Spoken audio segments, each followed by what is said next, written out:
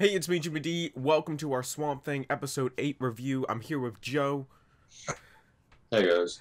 and we got some stuff to say because this episode it was kind of ruined because DC Universe for the next episode put a picture of Swamp Thing on a table with the doctor above him. And so the whole like the whole like climax of this episode where Swamp Thing is fighting the doctor and um all these other uh, guys with guns that they brought with them. We knew he was going to get captured, so like the whole scene just was ruined. How, how do you spoil your own show? Yeah, How do you spoil your own show? you, you legit spoiled your own show. Um, but putting that aside, um, the Abby stuff, again, really interesting. Uh, her being in Atlanta, it gave a, a refreshing kind of revamp to her storyline. Uh, her boss being working for the doctor that uh, Marie Sunderland hired, that was a nice twist. Um, her friend being kidnapped. Overall, um, it, it, it was a oak that part was good. Um, the swamp thing part with Sunderland, um, that was sort of interesting, but at the same time, it was like, okay, well, we know Swamp Thing's gonna get captured somehow, so this is kind of mute. Um, Yeah, it kind of took away like a lot of the like tension yeah, show. it did. Um, what did you think overall, Joe, about the Abby stuff and all that? I thought it was okay. I don't I don't think it was like It wasn't amazing. I don't think it added to her story to her character though. No, I, I I don't think it added to her character, but it was it was a nice pace to get her out of the swamp of doing the same stuff over and over. It was like a reality check. It's like, hey, you didn't follow your reports. Yeah, Where the fuck you been? and you didn't even think about that as the It's like, episodes went it's- on. It's like you'd think that stuff like automatically done off camera, but I guess it wasn't. No, the Sunderland character, he he's hallucinating through the swamp. He he sees the sheriff and vines come out of her and horrifying. I would have shit myself.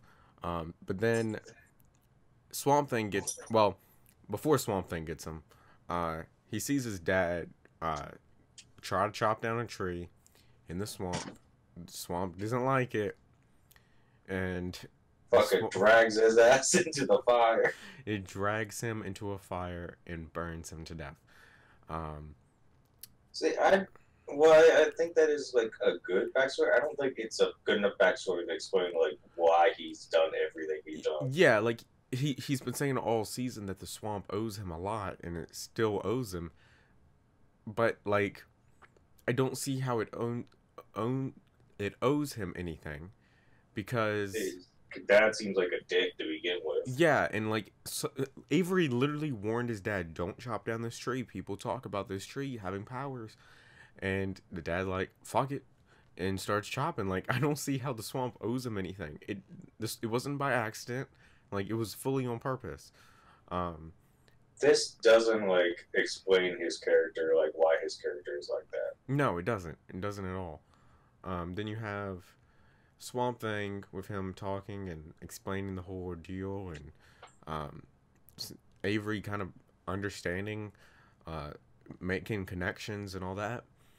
And like it seems like they're they were going to redeem him a bit, but then they didn't, and it's If if Avery at the end of the day does not save him somehow, I think Avery's character will be a huge letdown. yeah, Like overall. Because that's sort of the way it's been building. Is because they this episode they've hinted like they're trying to hint that like oh like he saved my life Yeah. like i'm a man of my word i will save you this type of thing mm-hmm. like if i'm anything i'm a man of my word type of thing yeah, like you know those characters they're like evil but once they make a promise they keep their promises Yeah, he may still be evil, but if because Swamp Thing saved his life, he would save Swamp Thing's life. Um, and you would, I, I thought that's sort of what they were gonna get at with the end climax, but no, he just picked up the shotgun, and just, just blew holes in the Swamp Thing, and then they they uh, uh, froze him, which is just weird. Um, I mean, maybe they'll save him in the end. Hopefully, hopefully, with two episodes left, it's it's gonna be nail biter. It's gonna be a nail biter. Um, but yeah, and then the CDC part ultimately was kind of disappointing. I feel like they could have done more with it. Um, um, my prediction is they're gonna have. So, I think Abby's gonna get back, mhm. and next episode is gonna be fun. Well, she kind of knows like that he's been taken, right? Yeah, I think it's gonna be finding like it's gonna end next episode either with them reuniting or something. yeah, or she going they, going they still together. gotta stop. They still gotta stop the darkness in the swamp in general. Yeah, it's weird. It there it seems like everything's gonna be rushed this last two episodes, and I really hope they're not. Um. All right, Joe. Uh, how would you rate it? Honestly, this episode was eh for me. Mm-hmm. I'd give it maybe like six and a half. Honestly. Yeah, I'm going to go Like- six. I think it was just above average. Compared to last episode and like past episodes. Yeah.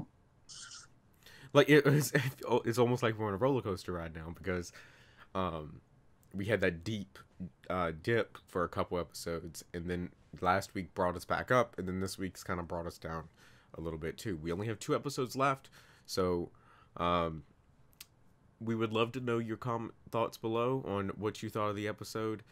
Um, did you get spoiled by the picture, the thumbnail of the next episode when you open up DC uh, universe? And like always, I will see you in the next one. Later. How short was